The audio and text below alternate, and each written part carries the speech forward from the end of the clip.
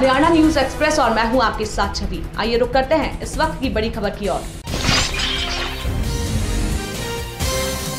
स्वतंत्रता दिवस के अवसर पर अग्रोहा हिसार में स्थित द रेडियंस स्कूल में सांस्कृतिक कार्यक्रम का आयोजन किया गया। सर्वप्रथम मुख्य अतिथि डॉक्टर छाया लंबा, अग्रोहा के सरपंच बलवीर भाम्बू और स्कूल प्राचार्य विनोद पुनिया की ओर से ध्वजारोहण किया गया और छात्रों ने मार्च पास्ट करते हुए राष्ट्रीय ध्वज तिरंगे को सलामी दी। इस अवसर पर स्कूल के चेयरमैन गौरव सिंह ने छात्रों को स्वतंत्रता दिवस की शुभकामनाएँ दी। सभी छात्रों ने अनेक रंगारंग कार्यक्रमों में बढ़ चढ़कर भाग लिया। इंडिया वाले देश रंगीला आदि राष्ट्रभक्ति के गीतों पर छात्रों ने बहुत सुंदर प्रस्तुतियाँ दी।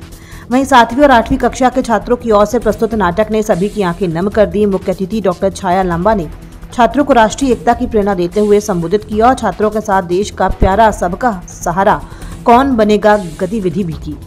स्कूल प्राचार्य विनोद पुनिया ने छात्रों को स्वतंत्रता दिवस की शुभकामनाएँ दी। उन्होंने कहा कि हमें आज़ादी दिलाने में महत्वपूर्ण भूमिका निभाने वाले शहीदों को कभी भी नहीं भूलना चाहिए और राष्ट्र के विकास में सदैव तत्पर रहना चाहिए। अंत में सारा वातावरण वंदे मातरम और जय हिंद किनारों से गूंज उठा।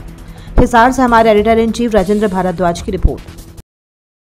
हमारे फेसबुक पेज को लाइक, फॉलो और शेयर करें। साथ ही यूट्यूब चैनल को लाइक करें, सब्सक्राइब करें और ताज़ा खबरों के लिए बेल आइकॉन को दबाना न भूलें।